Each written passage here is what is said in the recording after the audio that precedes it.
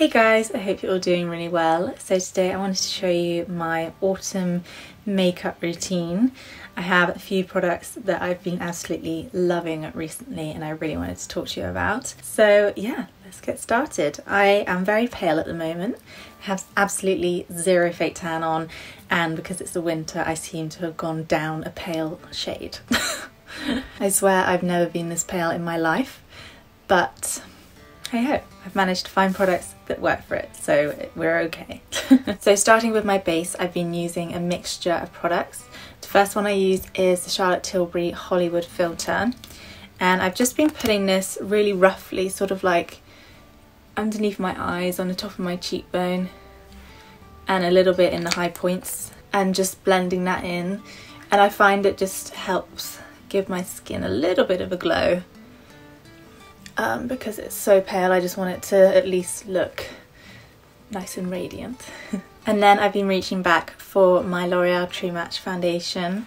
I went through a phase in sixth form of absolutely being obsessed with this and I think the obsession has come back again. so I'm in the shade 0.5N and I can't remember the shade I used to use but this one seems to be really good at the moment. So I like to just pump it straight onto my face and then move it around with a sponge. This sponge is slightly damp because um, I washed it the other day and I feel like it works best when it's slightly damp. And it's just such a good colour match for me at the moment. I love this foundation. And then for concealer I'm going to use the Rose Inc concealer in the shade LX10 and I'm just going to use a tiny bit of this. It's a really good colour for me. It's nice and pale um, so I'm not using much of it and again it's a great colour match for me at the moment. Woohoo! It's so nice to be able to not have to fake tan in the winter to match your foundation shade. And I also, with most of my foundations, have to like really blend them down my neck. Whereas this one I haven't blended at all and it's such a good match. On to my next favourite, which is this product. This is Charlotte Tilbury Hollywood Contour Wand and I've been wanting to try this out for ages and it has not disappointed. So I just put a little stroke through my cheekbones and basically where anywhere where I'd put bronzer normally. And then I will just blend it out with a little brush, just just a little Real Techniques brush. And I blend it upwards on my cheekbones. And this just really helps give my skin some colour and warmth.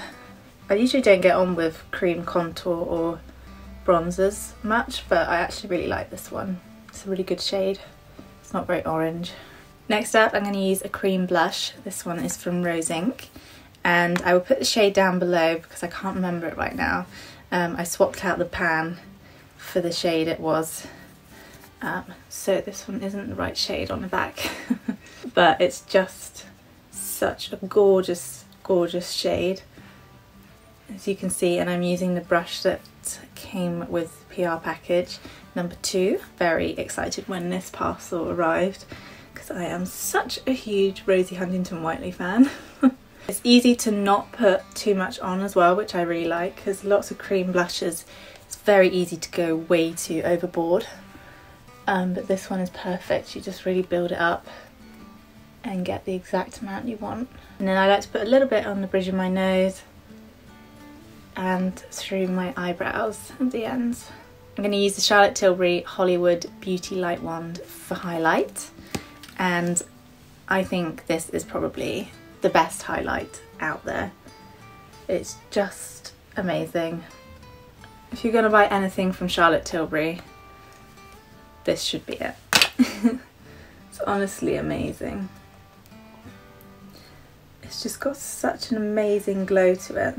Lasts all day and it doesn't look super glittery or anything. I'm going to add a tiny bit of Bare Minerals Original Mineral Veil underneath my eyes just to set in that concealer.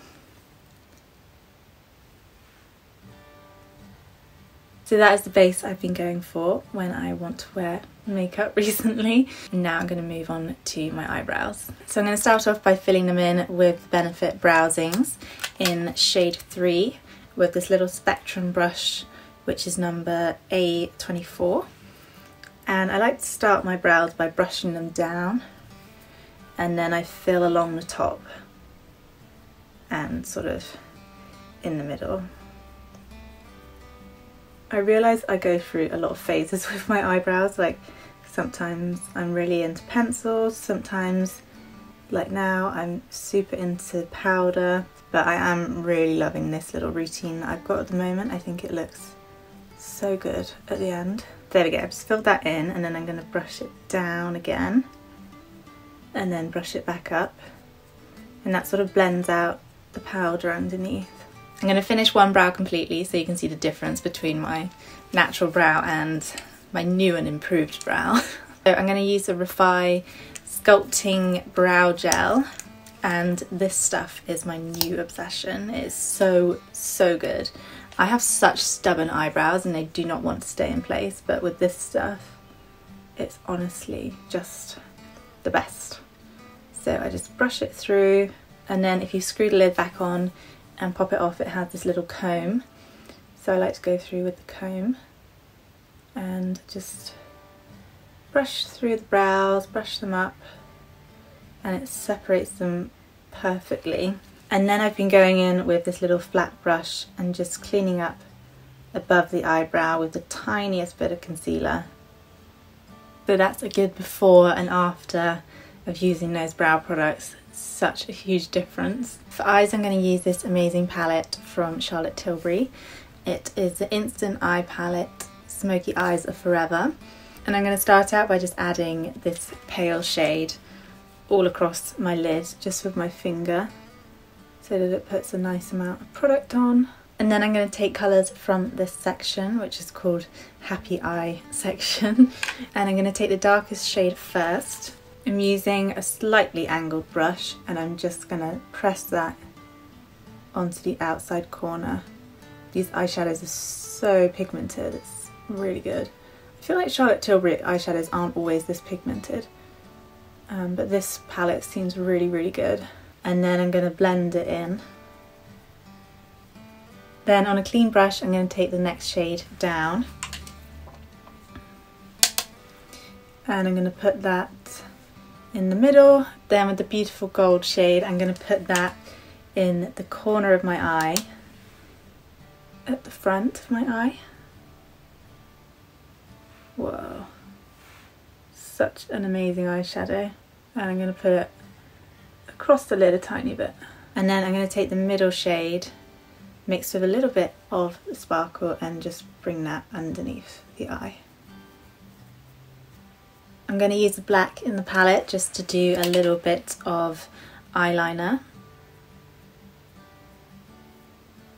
Nearly finished with the eyes, I'm just going to use the YSL Volume Effect Faux Curl Mascara. This stuff is super amazing, it makes your lashes so thick and long and very very black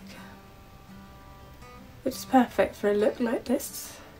Going to go in with that darker eyeshadow colour and add that underneath my lashes first before I go in with the mascara down there.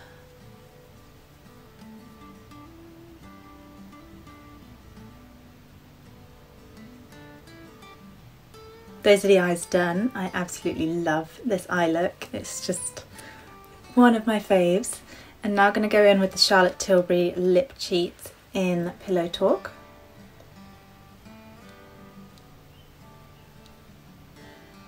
And then my favourite autumn lipstick shade recently has been this one from Charlotte Tilbury in the shade uh, Super Fabulous. And it's a really nice sort of browny pink shade. And then with whichever lipstick I do, I like to use a finger and just sort of blur the edges a little bit. And sometimes I'll add a little bit of concealer and just make sure the line is reasonably neat. So there we have it, that is the finished makeup look. I'm going to move on and sort out my hair quickly. And I'm going to use my GHD Platinum Hair Styler. Just going to heat that up. And I actually straightened my hair yesterday, so it shouldn't need too much sectioning off and straightening. I think this is my favourite way to style my short hair at the moment. It's just straight. I like doing it curled but I feel like it just so much easier to do it straight and it looks good each time I feel. And I'm going to add a little bit of back combing at the back. And then I'm going to add a little bit of this powder spray from Authentic Beauty Concept. And it's really good at just sort of helping keep the back combing in place and giving it a bit of volume and texture. And I'm also going to add a little bit of their Glow Touch spray. there we have it, that is the finished autumn makeup look. I really hope you guys enjoyed this video. As always, I will link every product down below and try and put all the shade names with them. Um, and yeah, I hope you guys are having a great day and I will see you all in my next video. Bye!